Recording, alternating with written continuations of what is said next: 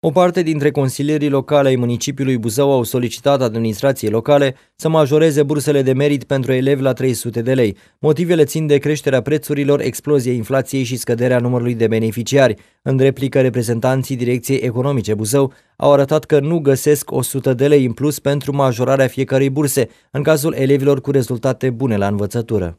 Propun prin uh, amendament uh, uh, creșterea bursei de merit uh, de la 200 la 300 de lei. A crescut media generală de acordare a burselor de merit de la 9,50 prin ordinul 373 din 2022 și astfel a scăzut numărul de burse de merit de la 3906 pentru anul școlar 2021 2022 la uh, 2806 burse de merit pentru anul școlar 2022-2023.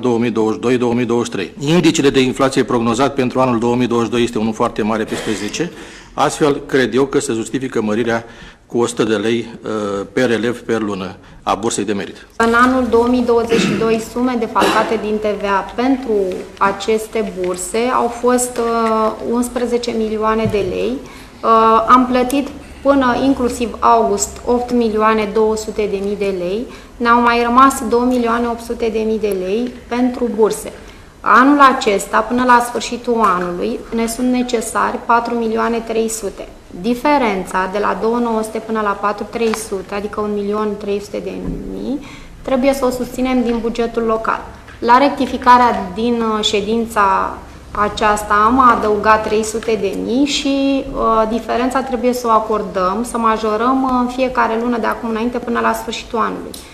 Din păcate, nu avem sumele necesare pentru a majora bursa de merit de la 200 la 300 de lei. Înseamnă un uh, necesar de buget anul acesta de 1.200.000 de lei. Primăriei Buzău s-a solicitat să prioritizeze cheltuielile pentru a putea acoperi nevoile importante ale orașului, cu toate că au fost aduse argumente din partea celor care au cerut majorarea burselor de merit, Majoritatea din Consiliul Local Municipal nu a fost de acord, iar propunerea a căzut la vot. Sunt uh, multe municipii în țară care găsesc astfel de bani pentru a mări cuantumul burselor uh, cu bani veniți din administrația locală.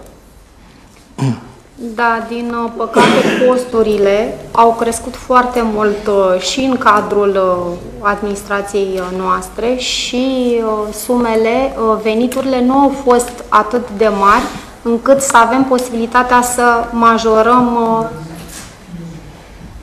cheltuielile la nivelul solicitat. Am alocat uh, luna trecută la sport uh, un milion de lei, iar acum nu avem să acoperim un milion 200 pentru burse. Asta înseamnă prioritizare.